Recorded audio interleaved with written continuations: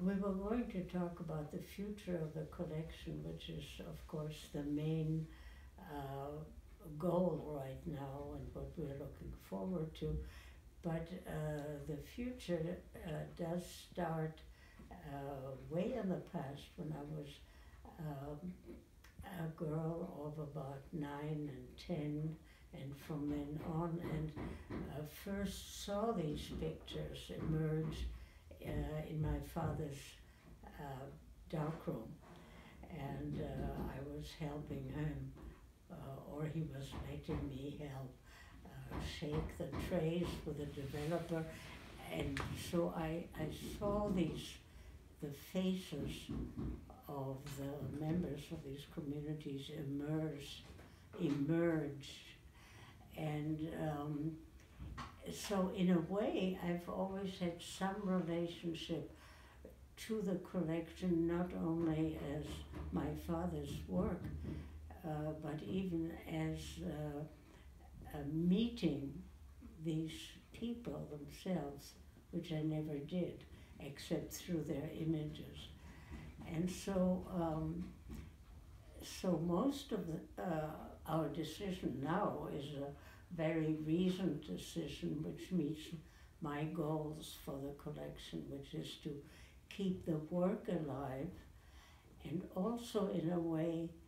keep uh, the people from dying again. And uh, that means we don't want them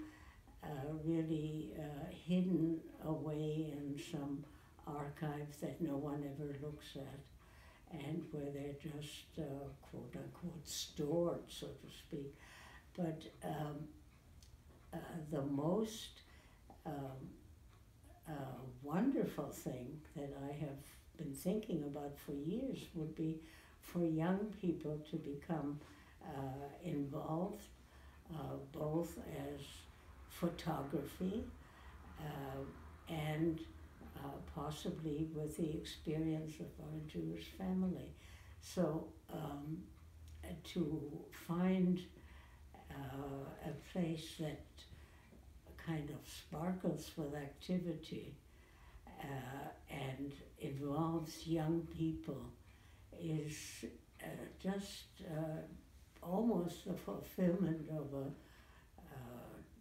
I hesitate to say a dream, but that comes to mind. So um, uh, I was uh, really most interested and pleased and had a feeling of maybe having arrived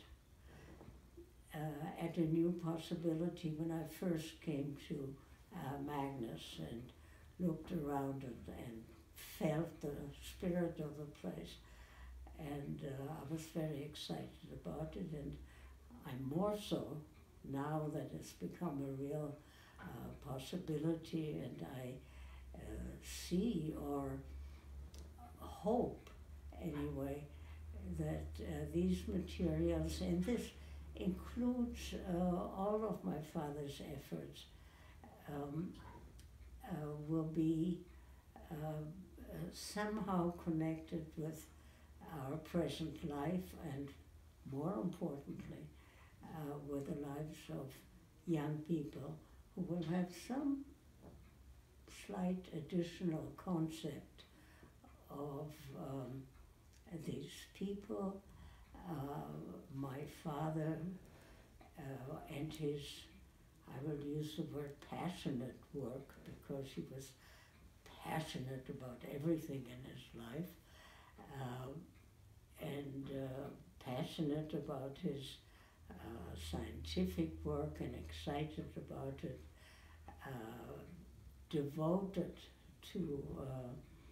uh, the Jewish material and felt, even though he had ne- never shared the life uh, that's shown in these photographs, he felt somehow very connected and refer to the people as our family. So uh, to find a not only safe but active place is just uh, wonderful for me and and um, uh, some kind of uh, well, not my accomplishment, but a circumstance that developed that I see as so fortunate and as an arrival uh, as far as my stewardship is concerned uh, and a resting place, but not a restful resting place uh, of this material. So I'm uh, excited, I'm thankful, I look forward to uh, having the knowledge that these people are safe and to some some extent uh, alive and adding to our lives.